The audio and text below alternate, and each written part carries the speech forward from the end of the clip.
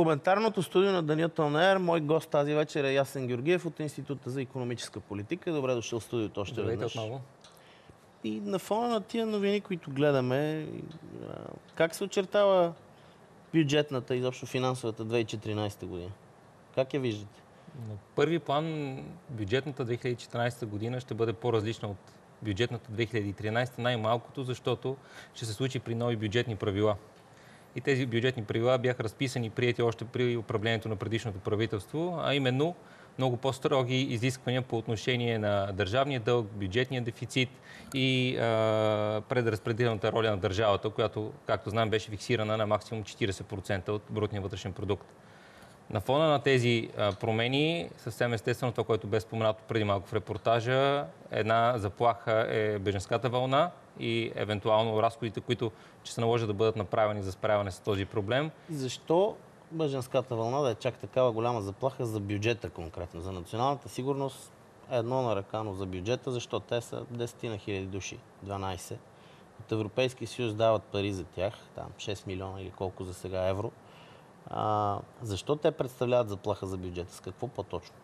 Представлява заплаха с, по линия на това, че бюджетът е много ясно разчетен и не предвижда а, големи буфери именно за такива разходи. Буферите са по линии на а, да кажем, социални плащания по линия на проекти към отделните министерства, но не към а, справяне с беженски От гледна проблеми. точка на това, че бройката на бежанците, които идват в България, може да нарасне драматично в следващата година?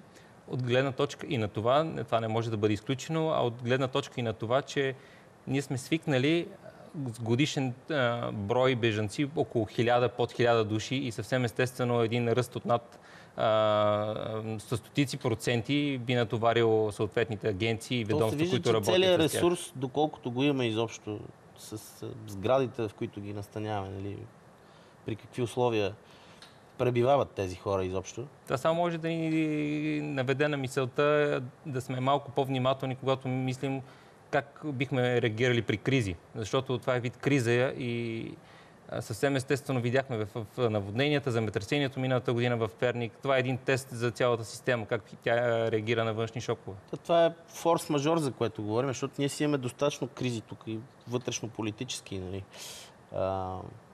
Изобщо обстановката в страната, как я виждате?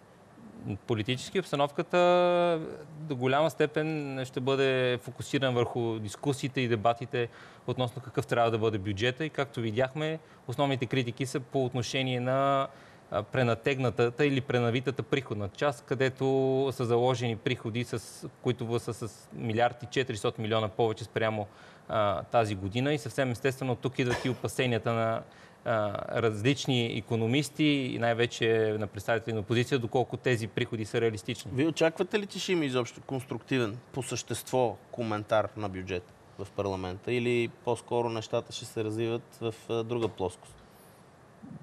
Дали, дали дебатите ще бъдат конструктивни, както виждаме до, до момента как протича работата на Народното събрание, можем само да пожелаем един наистина експертен анализ върху приходната и разходната част на бюджета. Това, което той показва е, че като цяло а, имаме един а, добре сложен бюджет, който се цели да даде на всеки по нещо и от всеки да вземе по нещо. Тоест, никой не може да бъде максимално дово- доволен от бюджета, но и никой не може да бъде, е, как да кажа, е, прекалено придирчив, А защото изпълним ли доколко е изпълним, зависи от това как ще се е, изпълни приходната част, както споменахме, където се очакват много големи приходи от а, акцизи и от данък добавена стойност.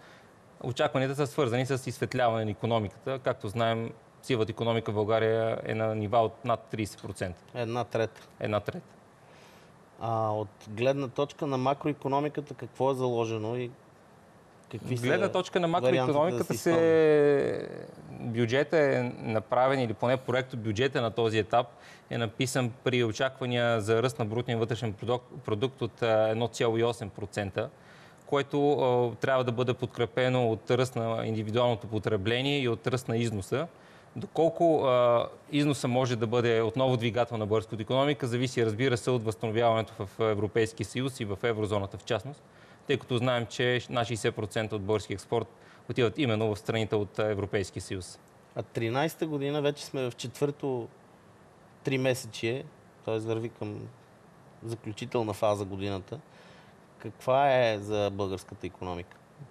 Тази година едната е, добрата новина за, за потребителите беше е, отчетената дефлация през редица месеци, което беше в резултат на административно нама- намалените цени на електроенергията и от сравнително благоприятните цени на храните на международните пазари, както и сравнително стабилните нива на, на петрола и горивата.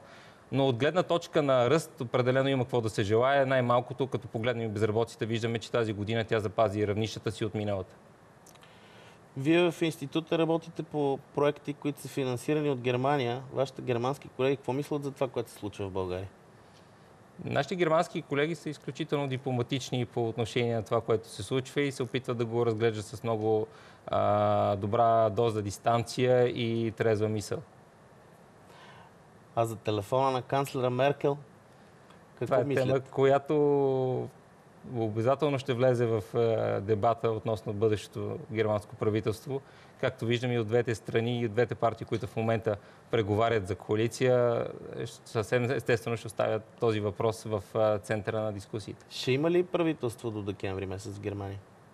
Германия в това отношение е една сравнително предвидима страна, където сроковете по принцип се спазват. Така че можем да очакваме едно правителство на компромис, една нова голяма коалиция, може би до края на тази година. А ще успеят ли социал-демократите да прокарат мярката за минимална работна заплата от 8 евро и половина на час? Това е много чувствителен въпрос, който среща се сериозен отпор от страна на консервативните кръгове в Германия, но може би това ще бъде една от, цен, една от цените, които трябва да бъде платена, за да бъде, за да бъде създадена такава голяма коалиция.